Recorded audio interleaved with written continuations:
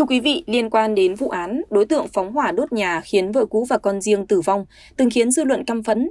Thời điểm cuối năm 2022 tại An Giang, ngày 11 tháng 10, Tòa án Nhân dân tỉnh An Giang mở phiên tòa xét xử sơ thẩm vụ án hình sự đối với bị cáo Trần Văn Nam, sinh năm 1983, trú tại phường Châu Phú A, thành phố Châu Đốc, tỉnh An Giang và tuyên án tử hình.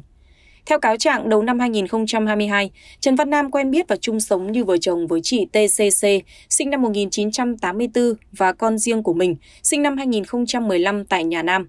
Sau thời gian chung sống, Nam và vợ hờ thường xảy ra mâu thuẫn, nên C về sống tại nhà cậu ruột, trên đường Nguyễn Đình Chiểu, khóm 4, phường Châu Phú A, thành phố Châu Đốc. Khoảng 1 giờ 30 phút ngày 2 tháng 11 năm 2022, sau khi uống hết 1,5 lít rượu, Nam nhớ lại việc bị C ruồng bỏ. Hiện C đang chung sống với người khác nên nảy sinh ý định đốt nhà ông dân, sát hại chị C để trả thù. Để thực hiện, Nam chạy xe lôi đạp đến cặp bên hông nhà ông dân để quan sát tìm điểm phóng hỏa. Và biết vào thời điểm đó, ông dân, chị C và con C đang ngủ. Sau khi thực hiện hành vi tàn độc, đối tượng bỏ đi khỏi hiện trường. Ngay sau đó người dân phát hiện đám cháy và báo cho cơ quan chức năng. Ngay sau khi nhận được tin báo, Công an thành phố Châu Đốc phối hợp đội cảnh sát phòng cháy chữa cháy khu vực Châu Đốc, điều động lực lượng phương tiện nhanh chóng có mặt tại hiện trường, triển khai các biện pháp chữa cháy. Sau gần 30 phút, đám cháy được khống chế và dập tắt, không cháy lan sang các nhà kế bên. Lực lượng chữa cháy đã phá cửa kịp thời cứu được ông D, còn chị C và cháu T phát hiện đã tử vong. Theo kết luận giám định, tổng giá trị tài sản thiệt hại trên 310 triệu đồng.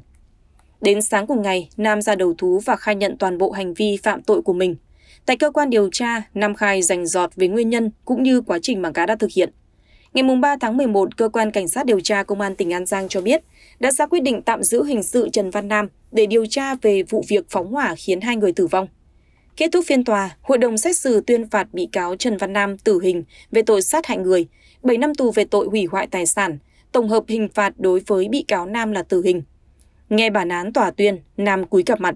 Có lẽ chính bản thân hắn cũng biết đây là hình phạt mà hắn xứng đáng phải nhận khi cùng lúc tước đoạt đi mạng sống của hai người, trong đó có một người từng là người đầu ấp tay gối với hắn.